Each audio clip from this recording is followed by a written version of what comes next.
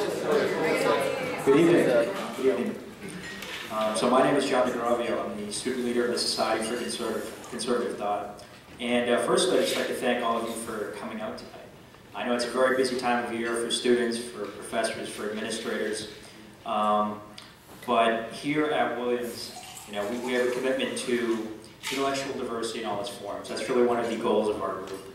And in the spirit of balanced discourse, we have the opportunity to spend some time here tonight uh, to think conservatively and to eat liberally. So thank you all for bringing your curious minds and your, your big appetites. Um, so before we welcome our speaker, I'd just like to recognize and thank some of the special guests we have here. Um, so we have a number of professors in the political science department, uh, as well as a professor from the mathematics department. Um, also joining us uh, are a number of representatives from the college administration, and then also a representative from the Intercollegiate Studies Institute. So we thank you very much for your presence here tonight.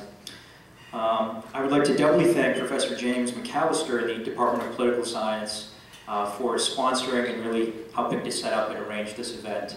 Um, it's not often that students uh, have the opportunity to hear from, from such preeminent thinkers as, as our guest tonight. So we are very, very thankful to uh, Professor McAllister uh, in political science.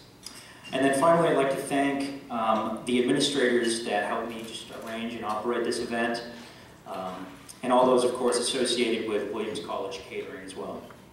Um, so our guest speaker tonight is an esteemed presidential historian and a scholar of conservative thought. Uh, he's a graduate of Amherst and Harvard, and he's been referred to as, quote, the dean and the leading light of historians of the American conservative movement. His 1976 book titled The Conservative Intellectual Movement in America Since 1945 has been described by historian Forrest McDonald as, quote, a masterful study that can be read for edification by people on the entire range of the political spectrum, end quote. So at a time of great uncertainty that we currently have in American politics, uh, we are very fortunate to host here at Williams um, one of our nation's very luminary political thinkers. Uh, so without further ado, please welcome uh, Dr. George H. Nash.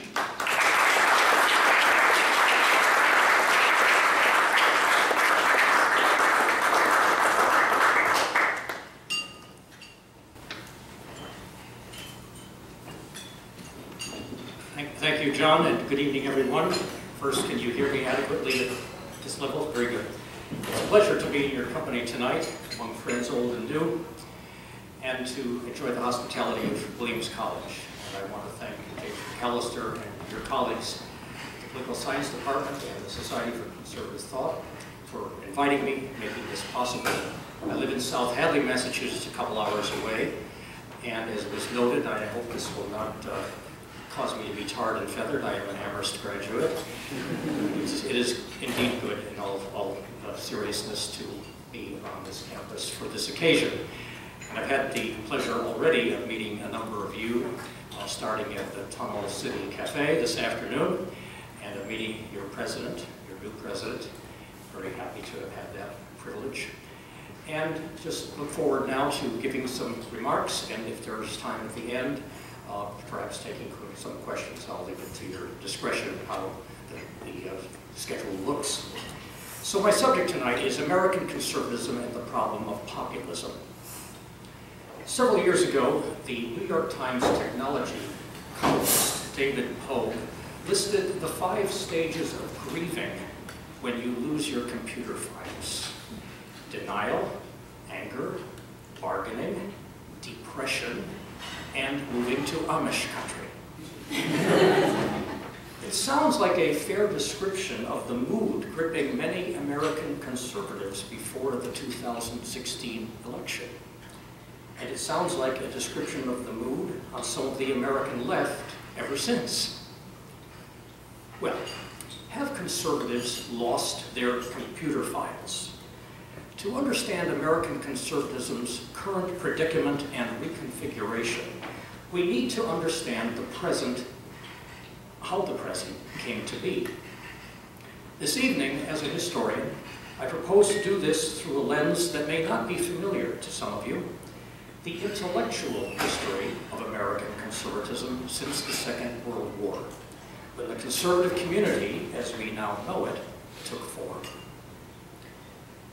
Perhaps the most important thing to assimilate about modern American conservatism is that it is not and has never been monolithic. It is a coalition, a coalition built around ideas that developed after World War II in response to challenge from the left. The coalition eventually grew to comprise five distinct groupings that I'll briefly summarize. First, libertarians and classical liberals who believed in free market capitalism and who opposed an overweening bureaucratic government and the ever-expanding welfare state. Two, traditionalist conservatives, appalled by the weakening of the moral, spiritual, and institutional foundations of American society and Western civilization at the hands, they believed, of secular relativistic liberalism. Third, anti-communists, focused on the titanic Cold War struggle against the evil empire of Soviet communism. Fourth, neoconservatives, disillusioned former liberals and socialists who had been mugged by reality, as Irving Kristol put it, and who gravitated into the conservative camp in the 1970s and 1980s. And fifth, the so-called religious right, or as we now tend to say, social conservatives, appalled by what they regarded as the moral wreckage unleashed upon America by the courts and the culture wars during the 1960s and beyond. Each of these components of the conservative revival shared a deep antipathy to 20th century liberalism. The alliance was led and personified by two extraordinary leaders. The founder of National Review, William F. Buckley Jr., and a little later, Ronald Reagan, both of whom performed an ecumenical function, giving each branch of the coalition a seat at the table and a sense of having arrived.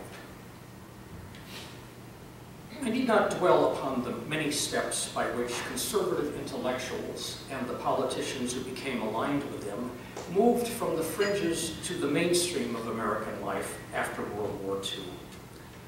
But one point deserves to be emphasized. The multifaceted conservative coalition that arose after 1945 was a Cold War phenomenon.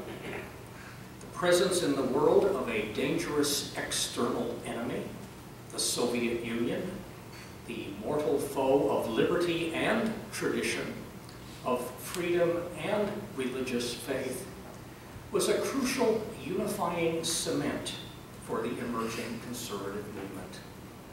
The life and death stakes of the Cold War helped to curb the temptation of libertarians and traditionalists to absolutize their competing insights and go their separate ways. Since the end of the Cold War in the 1990s, one of the hallmarks of conservative history has been the reappearance of factional strains in the Grand Alliance. One source of rancor has been the ongoing dispute between the so-called neoconservatives and their libertarian and non-interventionist critics over post-Cold War foreign policy, especially in the Middle East. Another fault line has divided lifestyle libertarians and social conservatives on such issues as the legalization of marijuana and same-sex marriage, as we all know. Aside from these built-in philosophical tensions, two fundamental facts of political life have contributed to the recrudescence of intramural debates on the right in recent years. The first is what we may call the perils of prosperity. Since the late 1970s, prosperity has come to conservatism, and with it a multitude of think tanks and specialization on a thousand fronts, a burgeoning conservative counterculture from the Beltway to the blogosphere. But with this prosperity and institutional growth have also come sibling rivalry, increasing tribalism, and a weakening of what I call movement consciousness, that is, a sense that you are part of a larger movement, as various elements in the coalition pursue their separate agendas. The vast right-wing conspiracy, as Hillary Clinton once called it, has grown too large for any single institution or magazine, like National Review in its early days, to serve as the movement's gatekeeper and general staff. No longer does American conservatism have a commanding ecumenical figure like Buckley or Reagan. Underlying these centrifugal impulses is a phenomenon that did not exist 25 years ago. What the late Charles Krauthammer called the hyper-democracy of social media. In the ever-expanding universe of cyberspace, no one can be an effective gatekeeper because there are no gates. The second fundamental fact of political life that permitted the renewal of friction on the right was the collapse of the Soviet Union and the stunning end of the Cold War in the early 1990s. Inevitably, the question then arose, could a movement so identified with anti-communism survive the disappearance of the communist adversary in the Kremlin? Without a common foe upon whom to concentrate their minds, it has become easier for former allies on the right to drift apart and succumb to the bane of all coalitions, the sectarian temptation. It is an indulgence made infinitely easier by the internet. The conservative intellectual movement, of course, did not vanish in the 1990s. Nevertheless, it is undeniable that unyielding anti-communism supplied much of the glue in the post-1945 conservative coalition, and that the demise of communism in Europe weakened the imperative for conservatives to find common ground and stick together. One of the earliest signs of this was the rise in the 1980s and early 1990s of an outspoken group of conservative traditionalists who took the label paleoconservatives. Initially, paleoconservatism was primarily a response to the growing prominence within conservative ranks of the former liberals and social democrats known as neoconservatives to angry paleocons, led by Patrick Buchanan, among others, the neocons were interlopers who remained at heart secular, crusading, Wilsonian interventionists abroad and internationalists abroad, and believers in the welfare state at home. In other words, the paleos argued, not true conservatives at all. As the Cold War faded, paleoconservatism introduced a discordant note into the conservative conversation. Fiercely and defiantly nationalist rather than internationalist, skeptical of global democracy, as they called it, and post-Cold War entanglements overseas, fearful of the impact of third world immigration on America's historically Europe-centered culture, and openly critical of the doctrine of global free trade, Buchananite paleoconservatism increasingly resembled much of the American right before 1945, before, that is, the onset of the Cold War. When Buchanan himself campaigned for president in 1992, under the pre-World War II isolationist banner of America First, the symbolism seemed deliberate and complete. Despite the initial furor surrounding the paleoconservatives, they have remained a relatively small faction within the conservative community of discourse. Still, as the post-Cold War epoch settled in during the 90s and beyond, they were not alone among conservatives in searching for new sources of unity.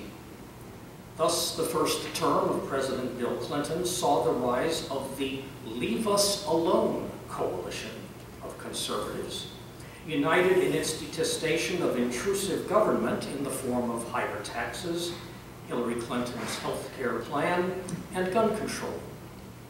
Not long thereafter, a number of so-called second-generation neoconservatives associated with the Weekly Standard magazine, founded in 1995, issued a plea for a new conservatism of national greatness, an adumbration of the muscular foreign policy of George W. Bush. Bush himself, before he became president, championed what he called compassionate conservatism, in part a deliberate rebuke and distancing from the anti-statist thrust of the Leave Us Alone movement. For a time after the trauma of 9-11, the global war on terrorism became, for most conservatives, the functional equivalent of the late Cold War against communism.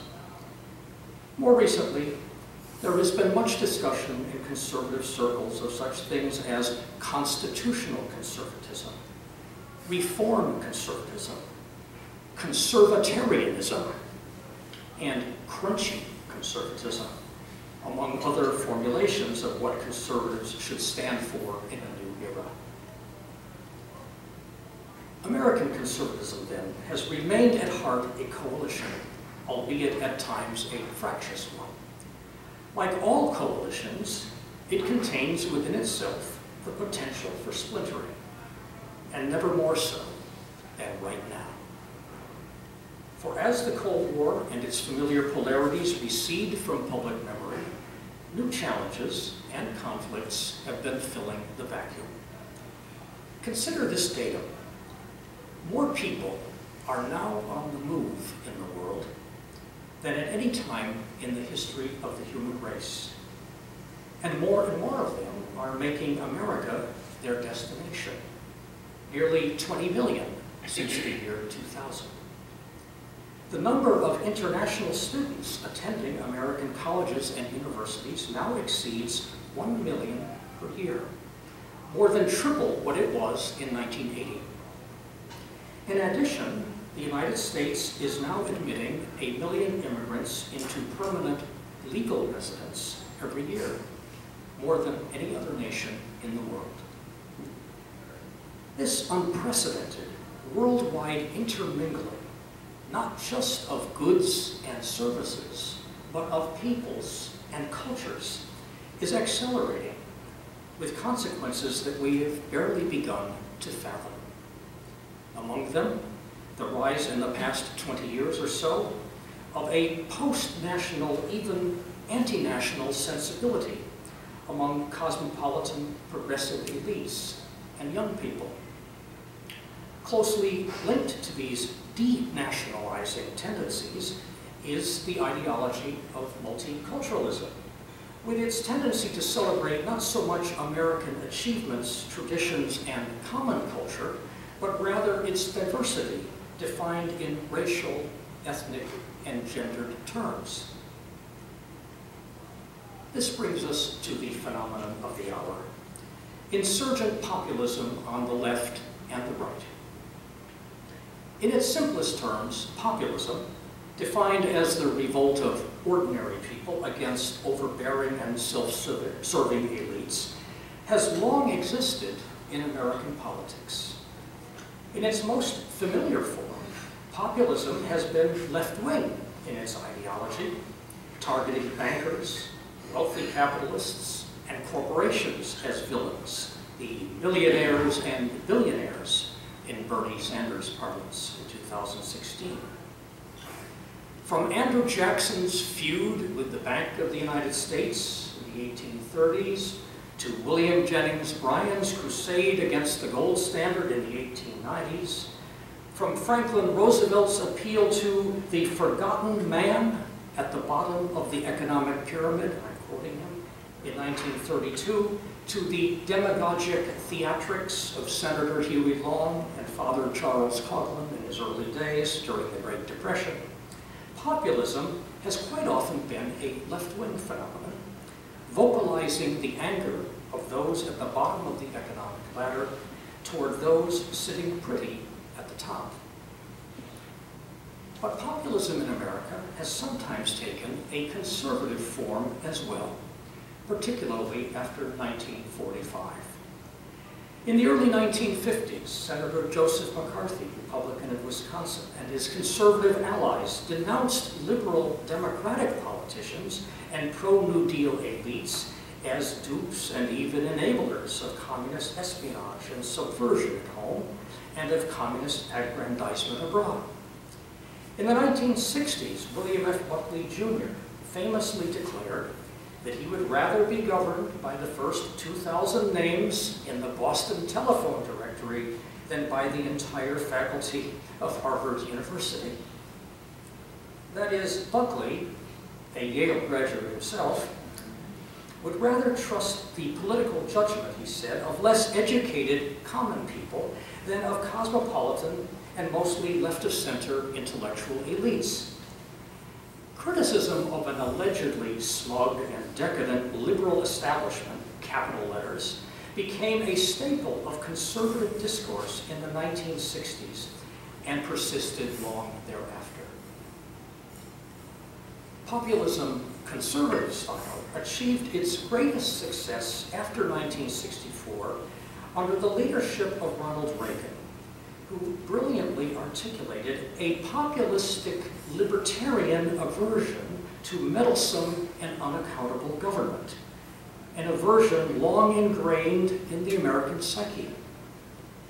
Consider these words from President Reagan's farewell address in 1989. He said, Ours is the first revolution in the history of mankind that truly reversed the course of government. And with three little words, we the people. We the people tell the government what to do. It doesn't tell us. We the people are the driver. The government is the car. And we decide where it should go and by what route and how fast. No conservative has ever said it better. But notice now the crucial distinction between these two manifestations of anti-elitism so long embedded in our politics. Left-wing populism in America has traditionally aimed its fire at big money, the private sector elite entrenched on Wall Street. Right-wing populism of the Reaganite variety has focused its wrath on big government, the public sector elite ensconced in Washington. Left-wing populism was most popular in America in the 19th and early 20th centuries, when, power, when powerful financiers and captains of industry appeared to control the nation's destiny. Right-wing populism gained traction after the, after the capitalist establishment was displaced by a competing establishment centered in the ever more bureaucratic administrative state and its allies in academia. A few years ago, American conservatives experienced a revival of Reaganite populistic fervor in the form of the Tea Party movement, with its slogan, Don't Tread on Me. In some circles, there has been a tendency to dismiss this phenomenon as either the artificial creation of right-wing billionaires or as the ugly expression of the racial anxieties of white people. The truth, I suggest, is more complicated. In the wake of the Great Recession of 2008 and the federal government's response to it, a powerful conviction arose among virtually all conservatives that public policy in the United States had in some profound sense gone off the rails. Rightly or wrongly, conservatives at the grassroots increasingly believed that ours had become a government not of and by the people, but only for the people. Government by autocratic edict from above.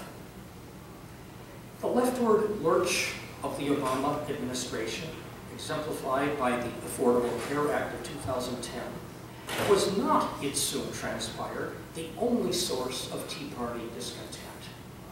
And this is crucial. The populist conservative revolt of 2009 and 10 quickly morphed into a bitter struggle, not only against the perceived external threat from the left, but also against a perceived internal threat from the conservative movement's imperfect political vehicle, the Republican Party. Despite massive Republican victories in the congressional elections of 2010 and 2014, many Tea Party populists felt betrayed by what they saw as the inability, and even worse, the unwillingness, of elected Republican officials in Washington to fight effectively for the conservative. Many at the grassroots, encouraged by populist sympathizers on talk radio, began to suspect that some of their elected leaders were not merely cowardly or inept, but essentially on the other side of the great political divide, particularly on the question of dealing with illegal immigration. The mounting frustration of grassroots conservatives, often derided by their critics as provincials and nativists, became part of the tinder, indeed the crucial tinder, for the firestorm that was about to occur. By late 2015, the perception that America's governing elites was no longer heeding the will of the people extended far beyond the Tea Party right. It helped to propel the improbable presidential candidacy of an outright socialist, Bernie Sanders. Until then, it appeared to me that the election of 2016 might become a showdown between these two competing brands of populism the progressive anti-capitalist one and the conservative anti-statist one. Victory, I thought, would go to whichever political party better explained the causes of the Great Recession of 2008 and the years of malaise that followed. Free market capitalism or statist progressivism. Which is the problem? Which is the solution? On this perennial point of issue, the election would be decided. What I did not foresee before the summer of 2015 was the volcanic eruption of a new and even angrier brand of populism, a hybrid that we now call Trumpism. Politically, Trumpism's antecedents may be found in the presidential campaigns of Ross Perot and Patrick Buchanan for president in 1992 and 1996. Stylistically, much of the Trump campaign of 2016 recalled the turbulence and rough rhetoric of George Wallace's campaign rallies in 1968. Ideologically, Trumpism bears a striking resemblance to the anti-interventionist, anti-globalist, immigration restrictionist, and America First worldview propounded by various paleoconservatives in the 1990s. It is no accident that Buchanan, for example, was thrilled by Trump's candidacy and is one of his most ardent defenders today. But instead of focusing its anger exclusively on left-wing elites, as conservative populism in the Reaganite variant has done, the Trumpist brand of populism simultaneously assailed right-wing elites, including the Buckley-Reagan conservative movement that I described earlier. In particular, Trumpism broke dramatically with the proactive conservative internationalism of the Cold War era and with the pro-free trade supply-side economics ideology that Reagan embraced and that has dominated Republican Party policymaking since 1980.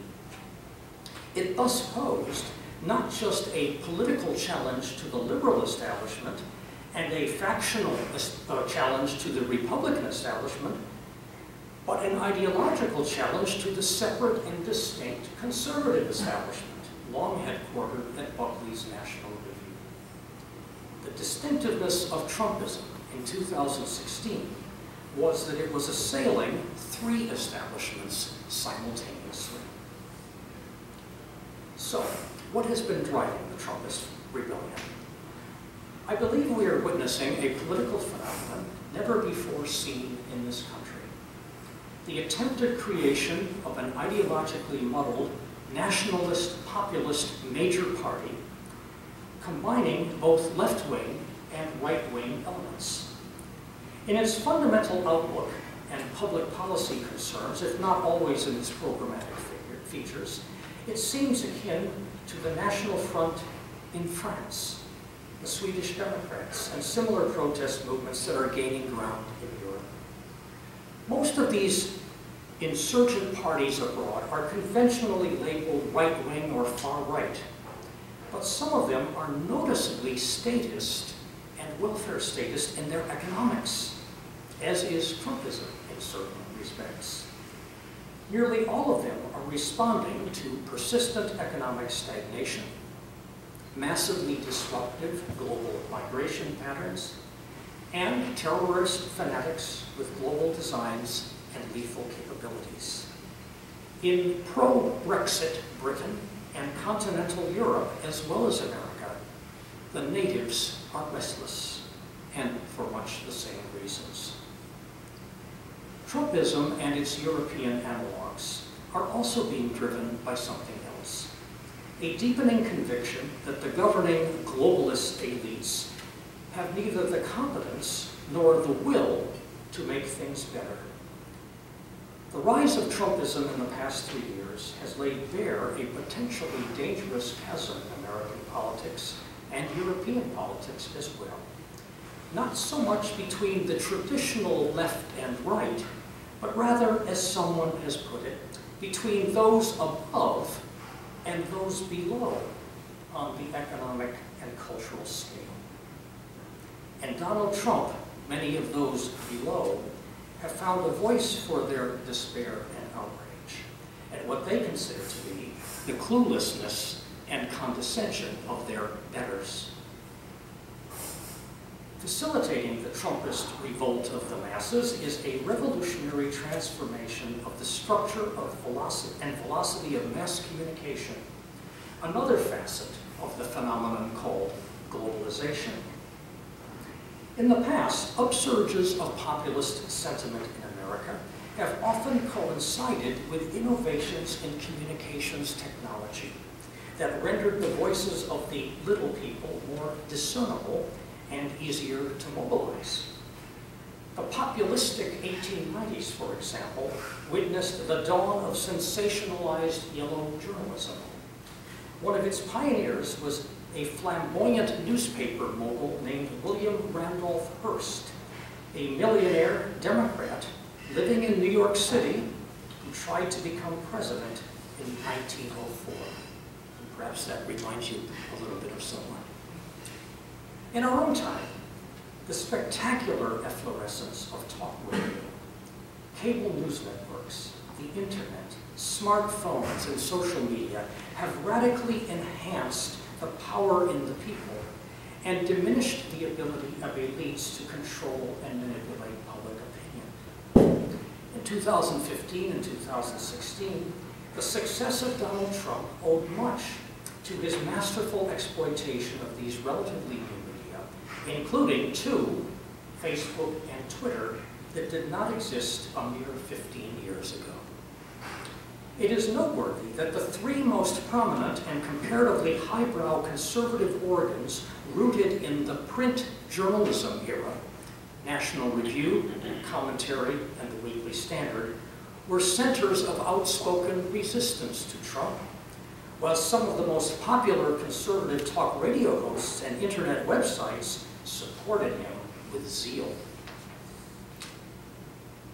As globalization accelerates, in cyberspace and elsewhere, it has become plain that the United States is experiencing a potentially profound political and cultural realignment, pitting, in the words of social scientists, globalist and transnational progressive elites against those who style themselves nationalists and populists. In the past two years, the tensions on these fault lines have flared into a struggle for the mind and soul of American conservatism. As the debate has proceeded, many conservative intellectuals have been attempting to accommodate what they see as the valid grievances expressed by Trump's supporters. According to the libertarian social scientist Charles Murray, the central truth of Trumpism is that the entire American working class has legitimate reasons to be angry at the ruling class, says Murray. Conservative generals, uh, intellectuals in general, I would say, now seem inclined to agree. But the problem for conservatives goes much deeper than expressing sympathy for the grievances of the aggrieved. If Trumpism were simply the anguished cry of a sector of the population that feels left behind economically, it would seem possible for conservative leaders in Congress to hammer out legislation that would begin to address the sources of anxiety. To some extent, they succeeded in doing so in the tax bill they enacted last year. Three obstacles, however, stand in the path of a smooth and total accommodation. The first is that the conflict between Trumpism and its conservative and Republican critics has become not just a dispute over economics and details of public policy, but a battle of intellectual paradigms. A conflict of visions not easily papered over by pragmatic compromise. To many of its conservative critics, Trumpism is little more than a mishmash of protectionist, nativist, and in foreign policy, neo-isolationist impulses, a distasteful throwback to the world before 1945. To the Trumpists, conservative internationalism is a rusty relic of a bygone Cold War era. And Wall Street Journal-style supply-side economics, with its corollaries of free trade, open borders, and uncapped immigration, is an ossified dogma whose real-world consequences have been catastrophic for globalization's losers, especially in places like Michigan and Pennsylvania. For many years during the Reagan era and beyond, the leading exponent of supply-side economics in Washington was the late Representative Jack Kemp. Today, Kemp's chief political disciple, who in fact once worked for him as a speechwriter, is none other than the Speaker of the House, Paul Ryan, a man who shows no signs of moderating his Kempian worldview and who in fact is about to leave Congress. Meanwhile, President Trump's former chief ideologist and strategist, Steve Bannon, proudly calls himself an economic nationalist, intent on building what he has called an entirely new political movement. The conservatives, he has said, are going to go crazy. It is not easy to see how, at the level of principle and theory, Kempism and Trumpism can be reconciled. In short, Trumpism, as a body of populist sentiments, has been boldly challenging the fundamental tenets and perspectives of every component of the post-1945 conservative coalition described in my remarks tonight. In its perspective on free trade, Trumpism deviates sharply from the limited government, pro-free market philosophy of the libertarians and classical liberals. Despite useful support for the right to life and religious freedom, Trumpism on the whole has shown relatively little interest in the religious, moral, and cultural concerns of the traditionalists and social conservatives, who nevertheless stayed with him partly because of court appointments. In foreign policy, Trumpism has harshly criticized interventionist conservative internationalism grounded in the Cold War era, as well as the so-called hard Wilsonianism and anti-Putinism of national security hawks and neoconservatives. What Trumpism continues to address loudly and insistently is the insecurity and disorientation both economic and cultural, that large numbers of grassroots conservatives and others now feel about conditions at home. Whether this attentiveness to the travails of ordinary Americans will be enough to bridge the legislative and ideological gap between Trump and congressional Republican leaders remains to be seen. Trump has the biggest megaphone and the support of most of the conservative base.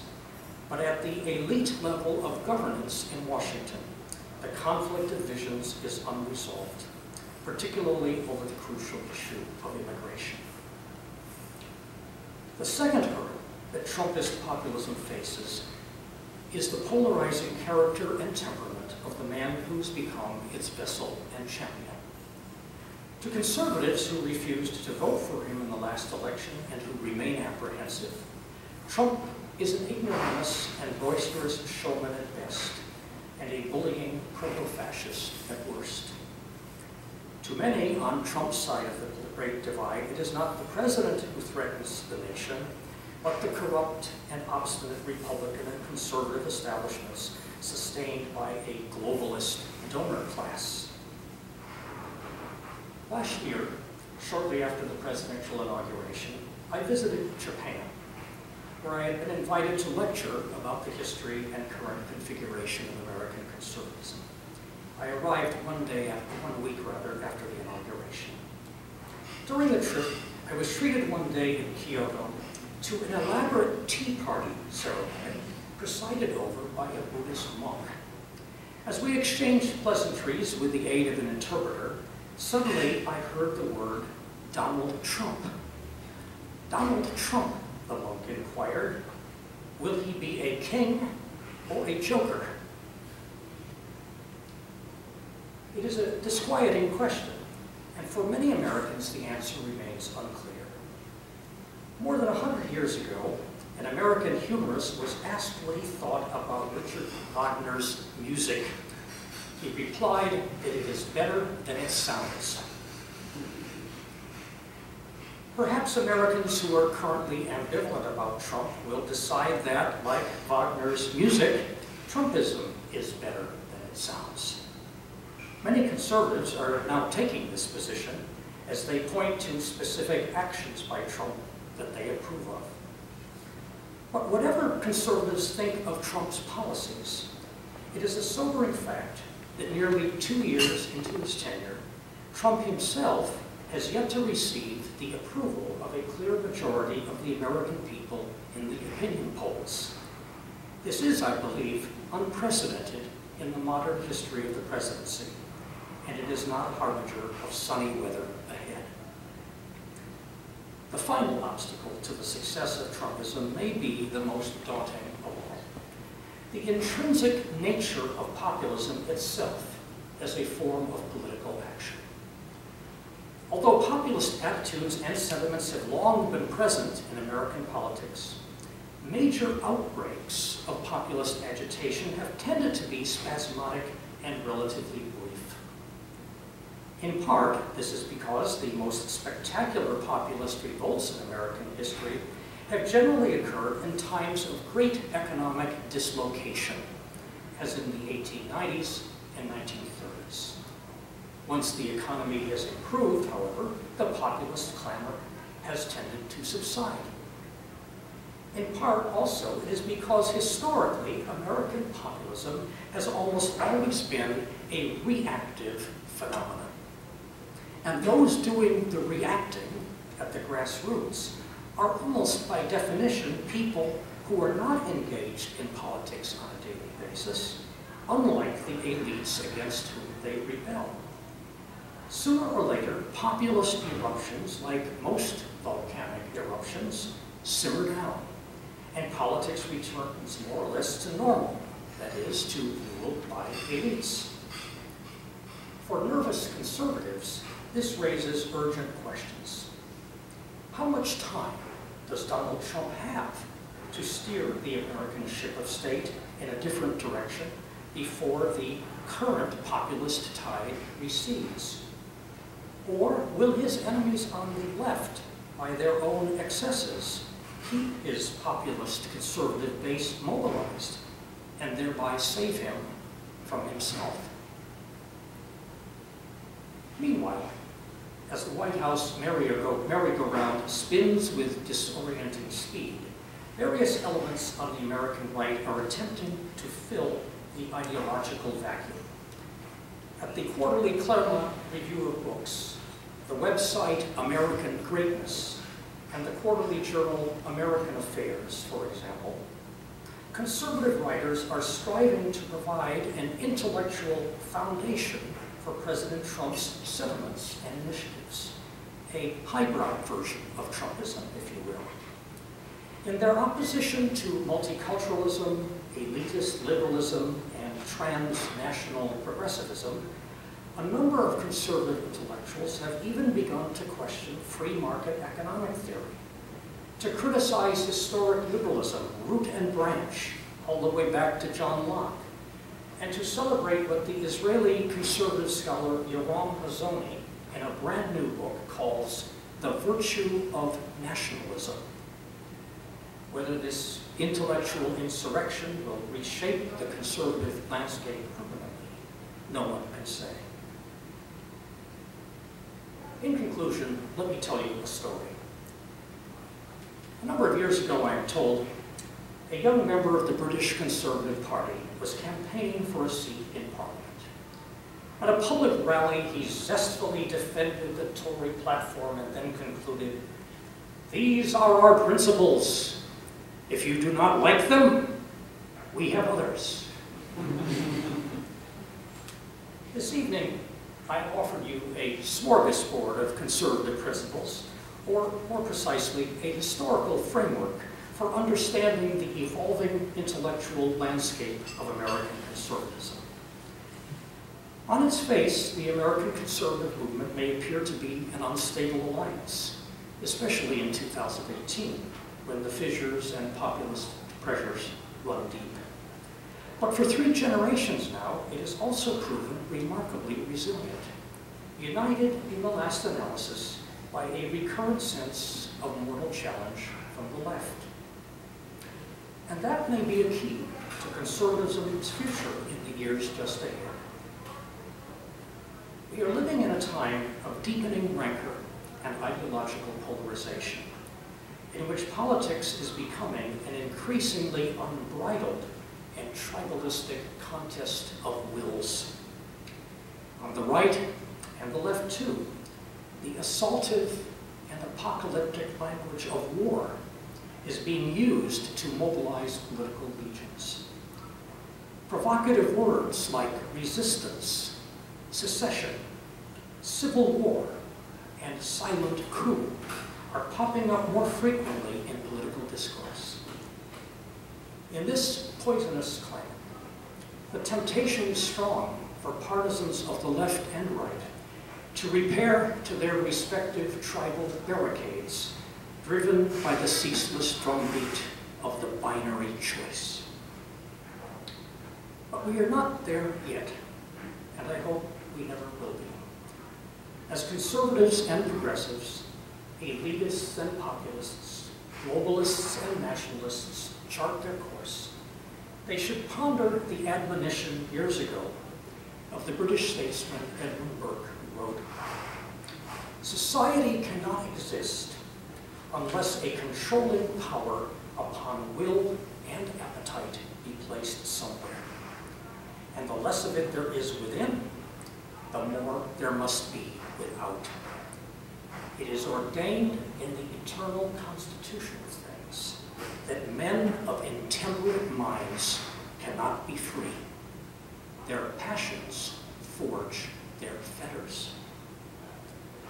Let us hope that Americans on all sides heed his words. Thank you.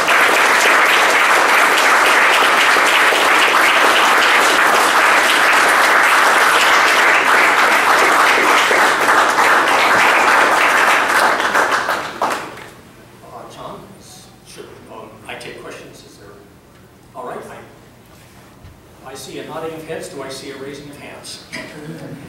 Anyone, uh, right here in front. Hi, wonderful presentation. Thank you very much. Um, I have a more of a question about like the ideology of the left and how they seem to be going through a splintering of their own, especially you mentioned the Bernie Sanders um, populist movement as like emerging and taking a lot of the base from neoliberal politics. What I thought was interesting though was how it seems as though the left has more of a ability to like set aside these differences, as it were, and work together as one coalition. And I'm wondering, what do you think it is an explanation for that? Do you think it might, is something built into their ideology to, as, I guess, work together better? Well, years ago, the Will Rogers, who was very popular in the 1920s and early 30s, said that um, he was not a member of an organized political par- party, he was a Democrat. And in those days, the Democrats were a rather fractious band of odd, unlikely allies, big city bosses in the urban east, uh, southern uh, racial oligarchs in the south, uh, prairie populists and so forth, northern intellectuals, uh, a, a weird combination, combination, but Franklin Roosevelt made it work pretty well for quite a while. And then the big unions came in and that added organized labor to it. So it's not unusual for Democrats to have big fights. Um, they seem to be able to get over them more quickly. I'm not quite sure what the psychology of that is. But then Republicans do, uh, but not always. In 1968, as some of us may remember, there was a brutal, uh, literally a physical battle on the streets of Chicago outside the Democratic National Convention. And the Democrats did not recover sufficiently from those wounds to elect their candidate. Uh, Nixon defeated, Republican defeated Hubert Humphrey in that year. So that was the, the last time. And this last time around was, uh, was uh, fairly uh, uh, serious, I think, on that score in terms of the anger level that at least I perceived watching television at the Democratic convention. But of course, they had the the enemy on the right, if you will, or where, however you place Trump, to uh, unite them. So often parties unite by the perception that the other side is so much worse that you cannot possibly let them get near the reins of power.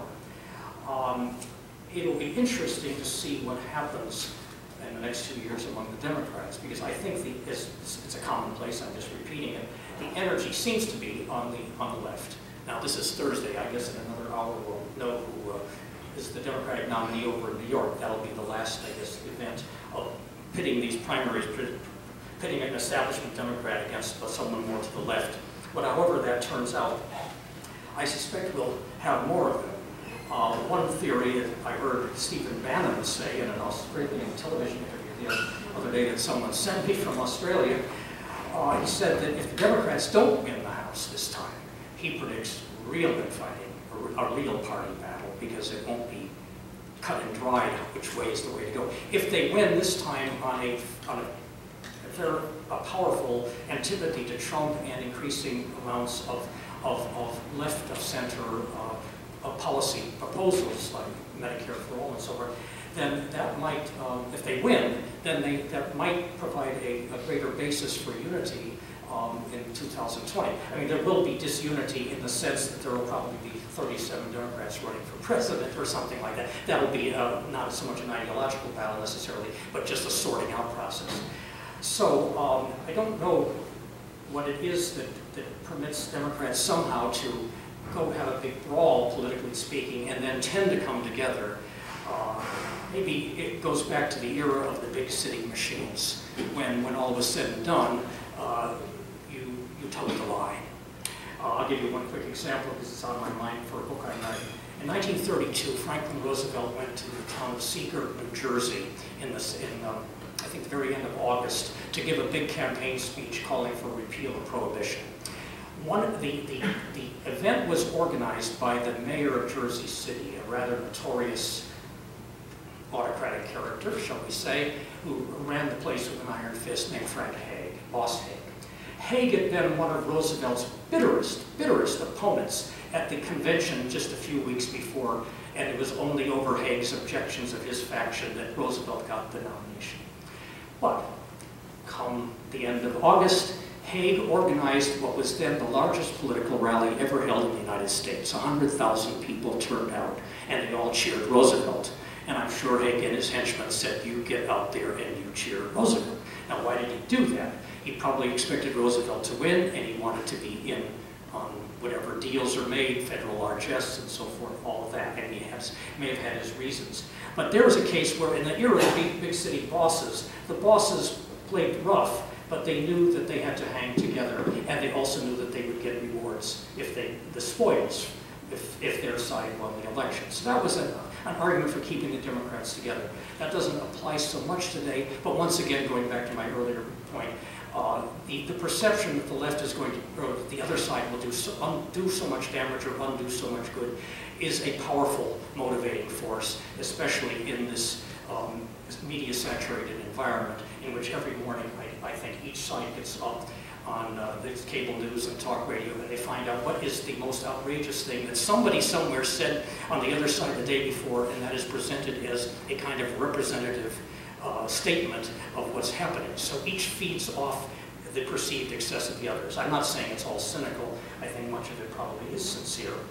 But it is, it is something that maintains this kind of tribalistic loyalty. And I can tell you right now that the polling data is suggesting this, that one reason Trump still has 40 to 45% in most polls is that many Republicans who don't like him nevertheless think that they have to stay in this corner, A, because they see him doing some things they like, and B, because they think the alternative would be worse. So I will, I will stop at that. There's more I might say, but I want to give an opportunity for some others if there are other questions. Um, So in, in respect of everyone's time this evening, um, I think we'll have an opportunity for maybe one more question. Uh, But then afterwards, I believe Dr. Nash uh, has offered to uh, stay here and give a more informal audience to anyone uh, who'd like to speak to him personally with any questions uh, about. Uh, I think it was you, uh, Uh, I'm I'm interested in your reaction to, to this comment, and particularly about um, your claim about the existence of Trumpism. the, the what of Trumpism? The existence. Existence, The existence of such a thing called Trumpism. And, and I guess I'm doubtful that there is such a thing, primarily because Trumpism lacks elites. Um, you suggested a handful of intellectuals associated with Claremont and American Greatness website, and maybe Steve Bannon. Uh, but these are kind of few and far between. And, in particular, Trumpism lacks um, elites that actually have power over institutions. Um, they don't control uh, universities, academia, they don't control corporations in Wall Street, they don't control corporations in Silicon Valley. Um, Republicans have their elites that are powerful in these kinds of places, and Democrats have a lot of elites as well. And the followers of Trump have none of them. So this strikes me that Trumpism is something that's going to have a very short shelf life. Well, I think there, I would make a distinction. I think you could say, and I would say, that there are themes that, that we could identify as Trumpism. That does not mean it has the infrastructure to succeed in implementing. So you could have the ideology without the, the, the, the network that would implement it. And his own administration has many vacancies, for example. I just heard the other day in administration. So, uh, so I, I agree with you that it seems to me that it's very weak in an institutional sense. Obviously, it has some mass support, and it has this active coterie. I don't know how significant they'll turn out to be, but they're certainly energetic. And I told someone earlier, I think that this is where the, the energy is at the moment on the right to try to come up with defenses of nationalism, populist themes, criticism of globalism, uh, pro-tariff arguments, or at least arguing that we've got to be much tougher and so on. Where this leads in terms of a whole counterculture uh, is, uh, is problematic unless some elements of the traditional conservative counterculture simply go in for this. And I do see some signs at the intellectual level that there are, are people who are exploring these Trumpian themes and trying to uh, give a rationale for the policy initiatives. But I, I, I, so I disagree with you in the sense that I think that there is a, something you can call Trumpism as a body of sentiment or thoughts and impulses, whatever, and there are attempts being made to intellectualize that. I, but I would agree with you that it does look like this is still uh, very much uh, a minor insurgency, and yet minor insurgencies can have a lot of effect, as Trump has done with administrative decisions. So it's not to be just uh, dispo uh, disposed of uh, completely from our thoughts. Uh, a lot will depend on how long he stays in office, whether he even perhaps conceivably gets reelected. This would increase, the, I think, the incentive for Republicans as a matter of party dynamics, to um, say nice words about him and to appear to be in his corner. Some are striving, I think, quite energetically with what sincerity I can't judge, but anyway, they're doing so either tactically or uh, for other reasons to align with him. The longer he's there, the longer he's saying these things, uh, then that may pick up um, some support. And of course, a lot depends on foreign policy events and contingent events, whether they reinforce some of these concerns he's expressed. But I think you're right, in terms of institutional presence, it's weak. But the presidency is a bully pulpit does compensate for some of that as long as the president is there to set the themes with the daily tweet. And that would be my par partial agreement, partial differentiation perhaps from you. But thank you for the question, thank you all very much.